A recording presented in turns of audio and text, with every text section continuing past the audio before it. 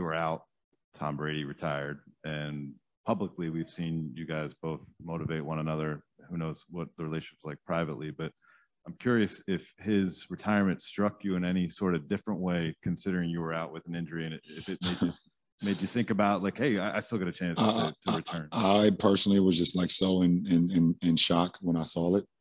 Um, to be, I was now I was one of the ones that didn't say anything when the first initial announcement came out. I didn't retweet anything. I didn't say anything because I wanted to make sure I heard it from him.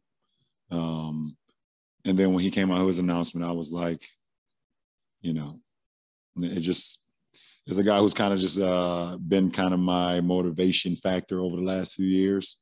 You know, seeing what he's able to do at his age, and you know, always, uh, you know, kind of being a leader of a team, and even at his age, people still gravitate towards him and gravitate, you know, you know, his energy and how he prepares and things of that nature.